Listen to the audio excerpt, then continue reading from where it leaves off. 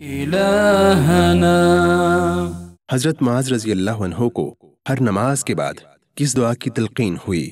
رسول اللہ صلی اللہ علیہ وسلم نے حضرت معاذ بن جبل رضی اللہ عنہ کا ہاتھ پکڑ کر فرمایا کہ مجھے تم سے محبت ہے۔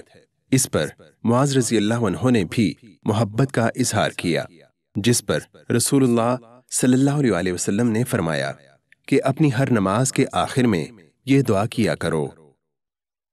رب أعني على ذكرك وشكرك وحسن عبادتك.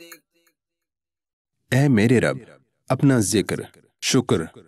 اور بہترین عبادت کرنے میں میری مدد فرما۔